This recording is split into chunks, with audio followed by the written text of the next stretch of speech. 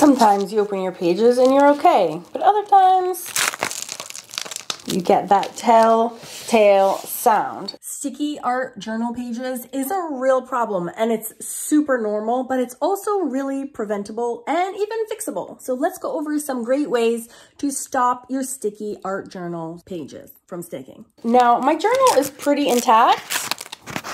So even though I'm getting some sounds of that stickiness on each page, so you can hear,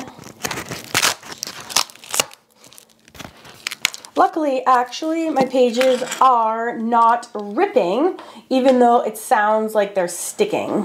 So while you might be scared of that ripping sound, um, as you can see, actually, all of my art journal pages are completely unscathed. And I have not opened or flipped through this journal in probably, God, maybe even like a year. Like it's been a really long time. So as you can see, each one is massively mixed media up and they're all okay. So how did I make my pages okay? This one was not, but I just taped the crap out of it and now it is. Okay, so how did I do that? I protected them, all my pages, with a spray sealer, this one. Okay, so this one works. So I just wanted to start what with what I know does work and then I'll go over some additional products that you, you can use if you're still scared of spraying with a sealer. And by the way, there's many different brands that you can use from fine art to craft. Okay, Krylon is a fine art brand. It makes it's it's a great product. Um, Mod Podge is more affordable, but you might see this in your local Michaels or your craft store. That's where I first discovered this one. But if you're searching for one in your country or your area, the keywords that you want to be searching for are clear, acrylic, matte, sealer. Okay, those are the four words you want to type into your search engine or Amazon or Google to find a spray sealer. And the reason that sprays are so essential, especially for mixed media artists, is that when you're spraying a coat on, you're not going to be reactivating all the layers that you put on underneath, right? So that's huge. So like this was made with watercolor markers. Well, if I did a brush on, that would all smear my work totally and completely. So doing a spray allows us to lock in everything and it won't smear. There's, you're not applying it with a brush. Okay, and again, clear, acrylic, matte, matte, matte sealer. If you're doing anything that is glossy or semi-gloss or satin, you're gonna, it's gonna be way, way, way sticky, okay? So that's kind of tip and product number one that I personally use the most. Now, let's go over some other pro products that you can use that are available that you might already have that you're not realizing that you can use for this purpose uh, and that would work really, really well. Um, then, so that the first one I want to talk about is Dorland's Wax Medium. So this is a cold wax, and if it's perfect for uh, pages. So even see how these are still so shiny, even though this has all been sprayed with a matte spray sealer, it's still shiny. So if you want to make this or decrease the, the, uh, the possibility that you could have sticking, you can go ahead and use this wax medium and spread it across your page and I'll show you exactly how you can do that right now. So I'm just using an old dish towel. I'm gonna use my finger, take a little bit onto your dish towel and a little goes a long way and it spreads super nicely and evenly. It sort of feels like Vaseline in a, in a way. Okay, now you would have to be careful if you hadn't, if I hadn't put down the spray sealer and I had maybe some Stabilo that I hadn't already activated, you would have to be kind of careful that you weren't swishing all of your art supplies together during this process, okay? So if you're doing this like over watercolors, be super careful. You don't want to reactivate anything. God, I love her so much. She's so pretty. it's fun to, to go revisit your old artworks. Okay, and so what will happen is what you can see is that once I've done the whole page, all that sheen will have disappeared. And this is another good product because you can kind of work it in some of these wrinkles. This is tissue paper under here.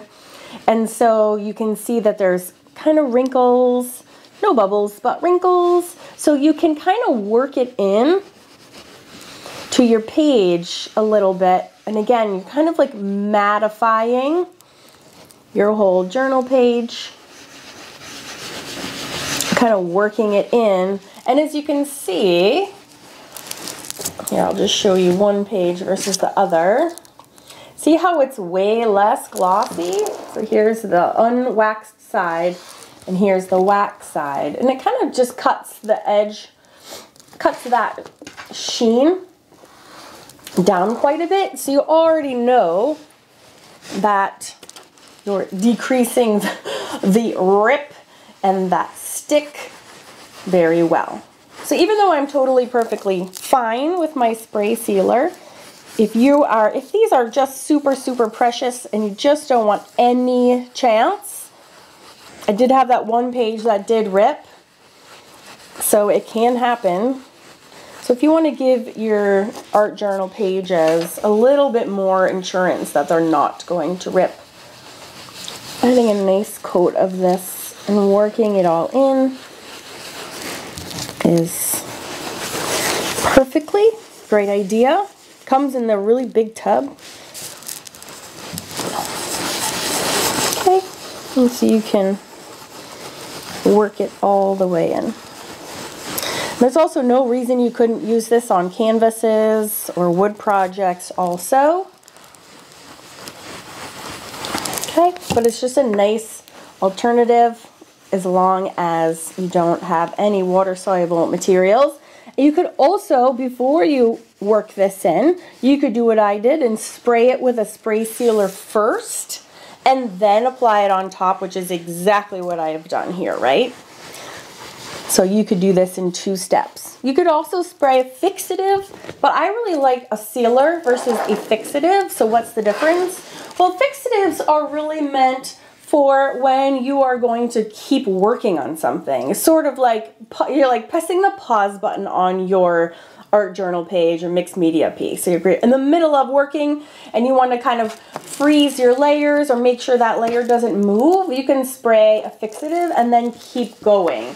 So you could spray a fixative before adding the wax, but I still recommend using the sealer because it's just while a fixative is designed so that you can keep working, a sealer says, I'm done. I'm totally done. I'm going to seal it. You're locking it in. And a lot of times with fixatives, they're kind of like half as strong as a sealer because you're going to keep working so it doesn't put the layer, the acrylic layer between your art supply layers, whereas a fixative allows you to like keep going and work within it. So this is not as strong. So if you're going to use the wax and you're done and you don't want to move your materials, I would start with a spray sealer and then add the wax on top. And then as you can see, you will have zero kind of ripping noises. And yeah, now what I don't like about the wax is that it's like weird, it's kind of like gross feeling, to be honest. I don't love it, which is why I don't use it. There's like a weird tactile difference. And I know I've heard people say that like it adds like a nice sheen, uh, not, not a sheen, but like a, like a lovely protective coat, um, coat rather. I think it actually kind of dulls it. So I don't love it for that reason either. So it's not my favorite, but again, if you want like ultra protection, zero stick, it really does do the job that you're looking for it to do. Okay, so what other products are there out there? Okay, another great product that you can use to keep the stickiness out of your pages um, is Ultra Matte Mod Podge. Super matte, sorry. Now, this is a relatively new product to Mod Podge. I love the geniuses at Mod Podge. They're always coming up with amazing products. And same thing goes. This is the same situation as the wax, but just a different product and way cheaper than that wax. So what's nice about this, Mod Podge is a great sealer as it is. So I would kind of do the same thing. If you have super water soluble products on your art, well, you know what? I think I, because I already sealed this, it's actually beating up. So I've used this on uncoated paper. This has already been spray sealed and I think this is like wants to kind of beat up. So maybe that's something that you could not do. Interesting. Yes, it's beating up. Okay, so that's a good test. I would not use it on pre-acrylic sealed surfaces. This is why I test everything. Yeah, I wouldn't use it on that. Fascinating. But you know what you can use it on is for example, because I've already tested this, so I already know. If you have a journal page that is the raw paper, right, or painted with permanent supplies, you have to, again, be super careful when you use any sort of sealer on in your art journal because if you're using water soluble materials, you will always get a great big results and I'll show you here. So here could be a good art journal page. Okay. And if I go to add a spray, a brush on sealer, even though this is ultra matte, so I know it would keep my pages from sticking, but you run the risk of activating and smearing those lines which in this case looks really cool. so you can also use it as a positive. Okay, so this is like, I actually use this technique in my hamburger mixed media method, which I've taught lots here on YouTube, but you can use that to your advantage as well. But then I'll show you, we're gonna dry this completely. Actually, what I'll do is I'm gonna open this and I will coat both sides. So you can see that when it dries, you can see how matte it is. So this is basically, I love their acrylic spray sealer, but the super matte is even better. But again, you gotta watch out. Now obviously, you can't do the spray acrylic first and then put this on to make it more matte because it's beating up. So it looks like it's being repelled. And that's how I would use the wax. So in this case, I think you could use the fixative. I'm gonna test it to make sure. Probably do a fixative in that case if you didn't want your like Stabilo lines to spread like that and then apply it. So let's fix, fix, let's try that and see if that works as well. But I'm gonna finish coating these so you can see how matte it is and to see if there's any stick or sheen that could possibly result in sticking. Okay, so we had our experiment here, which is when we did the brush on, and so you can see my Stabilo moved a little bit. Here is the matte on the pages alone. And you can see it's totally dry. There's zero sheen. There's zero sheen on here whatsoever. So the next thing I want to test is if we can do the fixative and then the matte brush on. Okay, so here's our fixative and matte test. So this is the same Stabilo All Pencil, which is super water reactive. And I'm going to there's a there's a few different fixatives, and sometimes you can get them that are for specific um, media. So they kind of they all work exactly the same, which is they basically again they're meant for reworking, but this one's like specifically for pastels. This one is perfect for pastels. And then it's also like ink markers, mixed media, kind of everything. I, I don't love the applications of either sealers or fixatives that come in a non-aerosol spray, but I know people can be very sensitive to the smells and some people just can't have any sort of aerosol spray product. So I just wanna let you know there is this product available as well. And the Mod Podge Ultra or Super Matte also comes in an applicator like this spray bottle. And I don't like these spray bottles so because they have a very uneven application most of the time. So it leaves so many holes, if you will. there's no, you have sort of drippy areas of big, you have a fine spray mist over here, and then this is like, you know, it's like 50% of this is coated. So it's hard to get, it's hard to get a really uniform spray due to the nature of just that spray bottle. So here, and I'll show you, I should not be doing this inside. Do not do this at, at your own home. But for the sake of this YouTube video, I will definitely show you. See how that is, that's an aerosol spray. That is 100% coverage. So I do not recommend, even though you can't do an aerosol, I would rather you not even use this one and go for a brush on because you just, that coverage is so literally spotty. So I don't recommend the Ultra Mod Podge in this kind of a, of a dispenser or a fixative. You actually end up having to brush it on anyways to fill in the gaps so you get the kind of coverage that you need. So here, but I do want to test using just a fixative. Even fixatives, I have to say, can sometimes even activate your lines a little bit. Kind of makes it a little bit more, see how it like intensifies that Stabilo because even that little liquid, even, even that little liquid is kind of activating that line anyway. So just be aware that that's a thing. So also these can be kind of sticky. That's why people use hairspray, which I do not recommend as a fixative. I never use fixatives in my work. I actually purchase them to do demos and to test them because I get so many questions, but I never use a fixative. ever, like literally ever. If I want to stop uh, something from moving, I always use a sealer I always use a sealer and then I just keep working on top. But uh, most people do use a fixative. I just hate them. So I'm going to dry this with my hair dryer, make sure it's all nice and dry. And then I'll apply this Super Matte Mod Podge in a brush just to make sure, again, I buy these to test that it's not going to move. All right, so now that's all dry. And so my test is, again, when I had already had a spray acrylic sealer, the Mod Podge, Ultra Matte was repelled. yeah. So it does a pretty good job.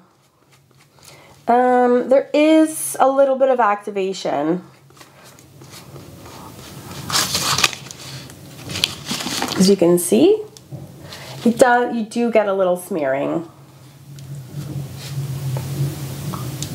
Just as you do when there is, but not as much. And this is why I don't love fixatives. They don't really work as well as I would want them to. I want if I want that to not move, I don't want it to move. And it's still moving. So it does work in that it's not being repelled because there's no spray sealant there. So it does work over the fixative, but it, you're still smearing it. So does it work over the fixative? I'm not really sure. So in that case, keeping with just the Mod Podge matte or any brand, and then maybe putting the wax medium over it instead to ensure it's locked in, ensure that it's matte, would probably be your best bet. If you're like, ew, I don't like the wax medium, like Karen said, it still has like a weird feel on the page. Um, there is also one more option, and let me show you what it is.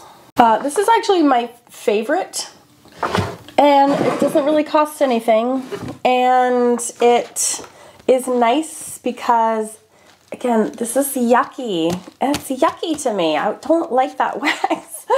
This might be too shiny for you. Just slip a piece of paper between your pages. It's as simple as that.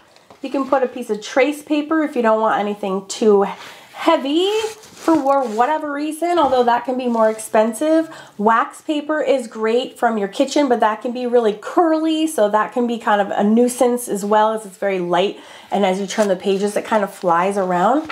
But just use like a regular printer paper or craft paper. You can cut it to size or buy it the same size as your art journal and just simply shove a little piece of paper between all your pages and then you will be 100% guaranteed you won't have sticky, it won't stick. It won't feel gross like the wax. You don't have to mess with all the fixatives and the sealants and everything. You're not gonna smear your work. It doesn't cost anything if you just have a piece of computer paper that you shove in between your pages. Nobody ever talks about that option, but it's probably the best option for most people, all things considered. Then you don't need to worry about aerosol sprays. You don't need to worry about this kind of spray can not not spraying effectively over your page. You don't need to worry about your brush wrecking your work lines and just really stress free. So just don't forget about that option as well. I hope this video was helpful. You learned something new today. If there's a glaringly huge omission that I've left out, please let me know in the comments. And if you want to check out um, some of these projects that I've been showing from the art journal, click the playlist and you can binge them all. Thanks guys, bye.